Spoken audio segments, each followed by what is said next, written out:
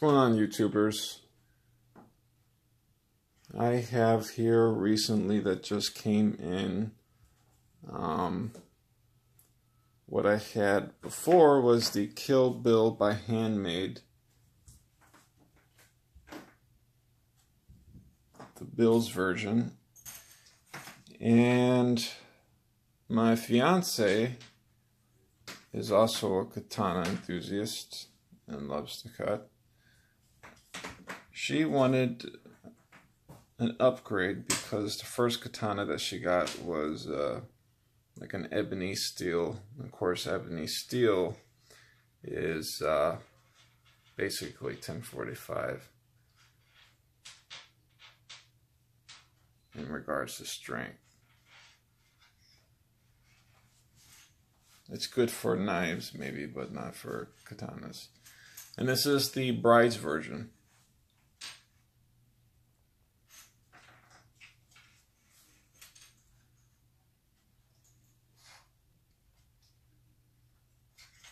If you give me one second, I'll unpack them.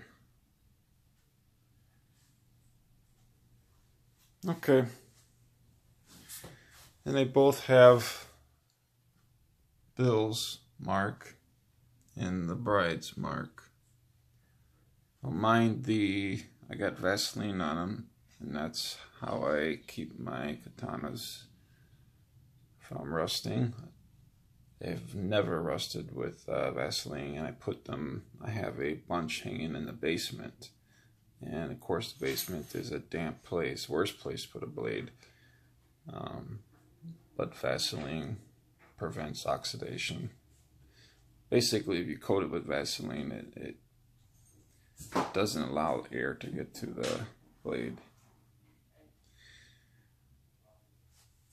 So, you know, on my last review of the Bill version katana, it's out of all my katanas, even the most expensive one, this one cut and performed outstandingly. I mean, very, very good. And there was a sale, flash sale on Amazon, dropped it down to 200 by Handmade same company got mine, and she went and got hers because she wanted to upgrade. And I guess she liked it because there's a his and hers katana, basically. and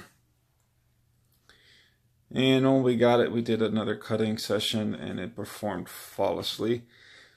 Uh, the tangs are signed by the swordsmith. It's not no cheap signature where it's scribed with a Dremel or whatever. It's it's deep cuts and I will show you the pictures of the uh, swordsmith signatures on the katana's uh, tang at the end of this video and give you more better close-up pictures of it in detail of the fittings and everything.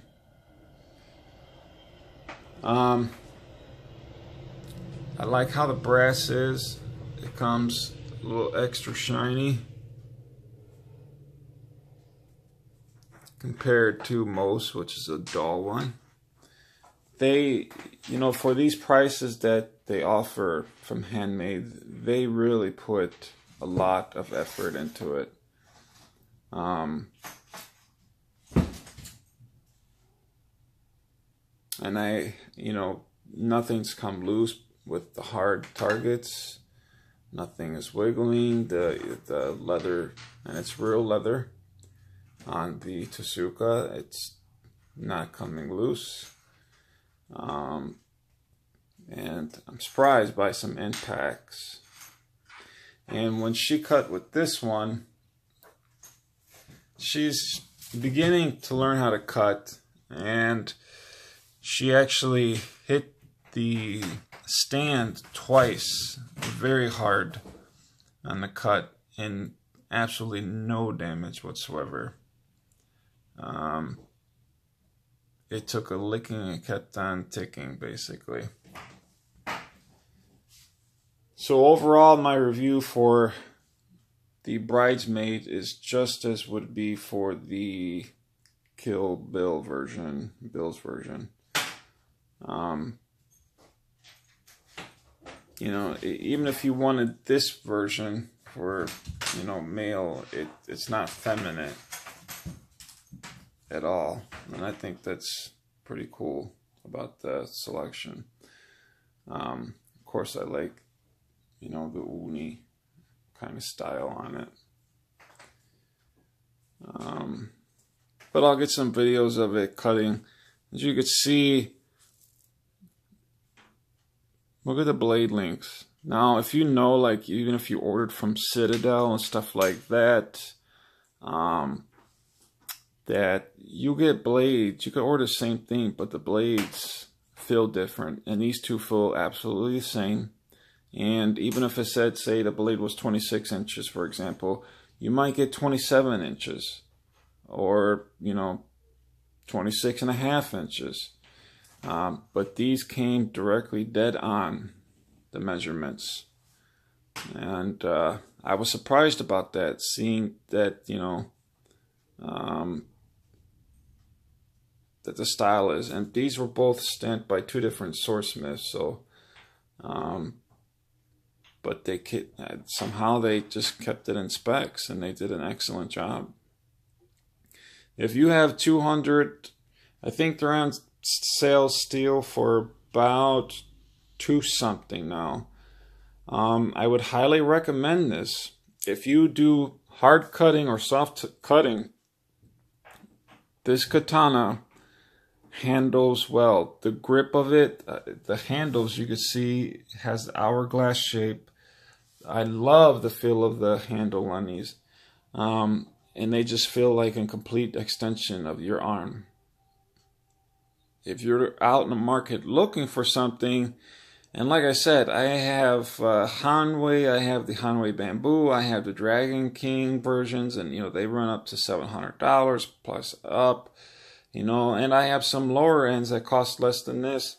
Um, out of all my katanas, these cut the best. I don't. It must be the geometry and the length of the katana because it, it it's just a, a performance cutting machine. Really is. When you slice or something, you you just you know when I cutting right now, I'm getting some uh, tatami mat soon. Um, but for now, I was using. Uh, pool noodles with a thick wood dowel in the center of the noodles. And when I cut with these, I couldn't feel it going through the wood. It just sliced it off. Um, I, I, I, I just love these, really. And it goes to show that you don't have to pay ten thousand, I mean two thousand or a thousand dollars to get you a very nice katana.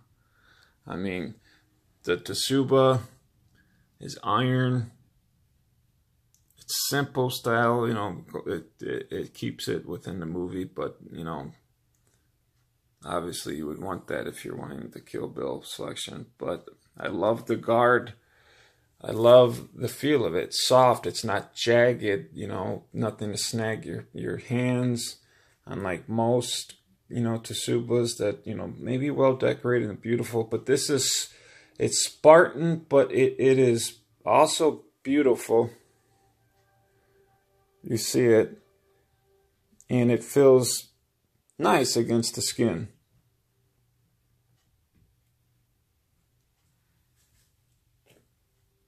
and they the craftsmanship is an A plus. It really is. So that's just my two cents. She wanted to get uh, an upgrade, so she bought the hers version of the Kill Bill, and this is by handmade. I will show some up deal up close. I can't talk it's early in the morning and my brain's like shite, but